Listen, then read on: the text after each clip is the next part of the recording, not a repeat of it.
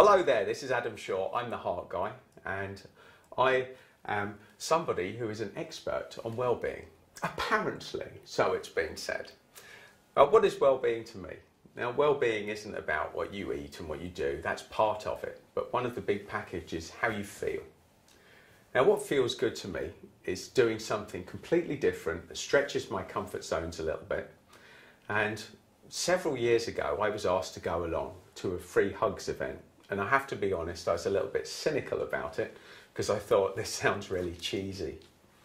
So I went along and we were hugging people all morning, and some people loved it.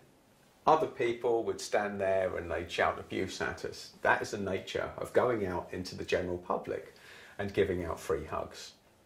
And I didn't really have any strong opinions either way about it until I was queuing up going for my lunch and I had my free hugs banner under my arm. And as I was queuing up to get my lunch, I noticed this old lady across the room with her Zimmer frame and her very thick rimmed glasses. And she was staring at me like this. And I looked and I had my sign and I was walking along the lunch thinking, wow, she looks a little bit uh, a little bit annoyed. And then I saw her, she pulled, she pushed her, uh, her frame a little bit closer and stared at me even more intensely as I was queuing up and walking towards the canteen. And then suddenly she came right up to me, looked at my sign, looked, and then looked me in the eye, and she said, Does that say free hugs, dear? I said, Yes, it does. So, would you like a free hug? And this old lady said, I'd love a free hug. And so I said, well, let's have a hug. So I gave this lady a hug and I just thought it's a bit of fun.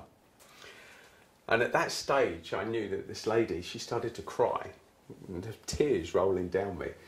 And I said to her, Are you all right? And she said to me, I'm so sorry, dear. It's just that my husband died three years ago and nobody's hugged me since in that moment, I realised that this wasn't just a gimmick, this wasn't just something that we're going out there doing for a bit of a laugh. That this one act, this seemingly random act, can massively change someone's life.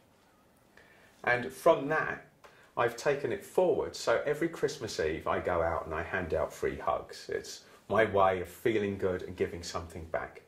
And if you'd like to share that experience, then come along with me on Christmas Eve this year in London. And let's have a bit of fun, let's let our hair down a bit, and let's get into the Christmas spirit. And if you want to connect with fun people, have a laugh on Christmas Eve and do something different, then check out the events on this page and come along and join me on Christmas Eve. And let's have a bit of Christmas cheer. On behalf of me, Adam Shaw, the Heart Guy, I look forward to seeing you on Christmas Eve.